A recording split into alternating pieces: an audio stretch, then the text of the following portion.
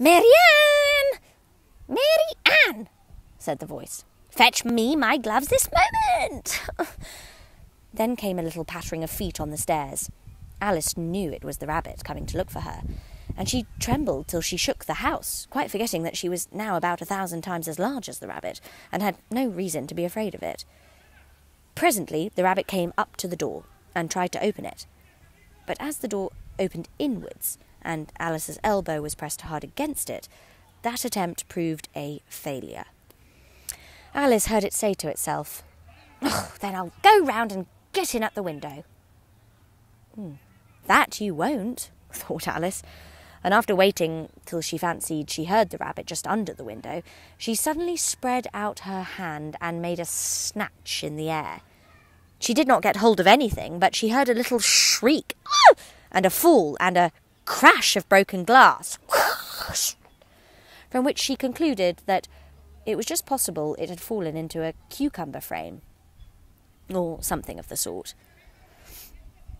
Next came an angry voice, the rabbit's. Pat! Pat! Where are you? And then a voice she had never heard before.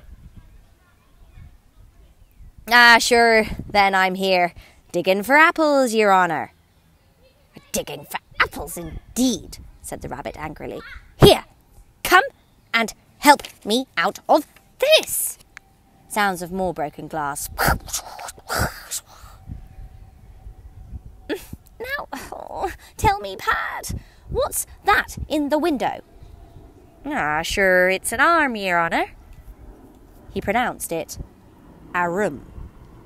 An arum, an arum, an arum, arum. Hmm, not quite sure about that one. An arm? You goose? Who ever saw one that size? Why, it, it fills the whole window. Ah, sure it does, Your Honour. But it's an arm for all that. Well, it's got no business there. At any rate, go and take it away. There was a long silence after this, and Alice could only hear whispers now and then, such as, ah, Sure, yeah, I, I don't like it, Your Honour, at all, at all. Do as I tell you, you coward.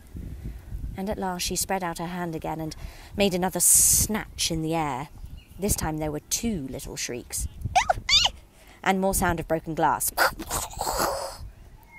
What a number of cucumber frames there must be, thought Alice. I wonder what they'll do next. As for pulling me out of the window, I only wish they could.